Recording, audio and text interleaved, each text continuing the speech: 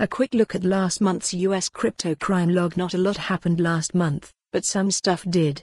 By Nikhilesh De Feb 6, 2024 at 2.30 pm Ukbi Nikhilesh De Feb 6, 2024 at 2.30 pm Ukbi Nikhilesh De Feb 6, 2024 at 2.30 pm While our attention was focused on exchange-traded funds earlier this month, federal regulators in the U.S. announced charges or sentences for various crypto parties. You're reading State of Crypto, a CoinDesk newsletter looking at the intersection of cryptocurrency and government.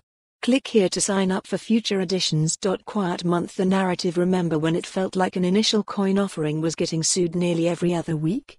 January has been downright silent in comparison. Why it matters always worth seeing what's happening in regulators' circles.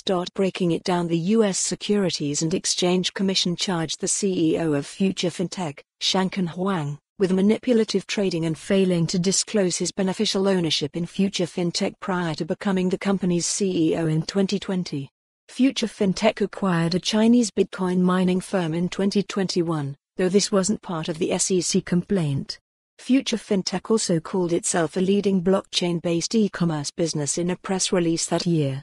Its website now refers to itself as a comprehensive financial and digital technology service provider that does mention various cryptocurrency bits in its About Us page. The Commodity Futures Trading Commission charged a company called Ibix and an individual named Jiang Cheng Yang with misappropriating customer funds. A federal judge sentenced Marco Ruiz Ochoa, a promoter for IcomTech, to follow the URL for the full article for more on this story, visit the news article link.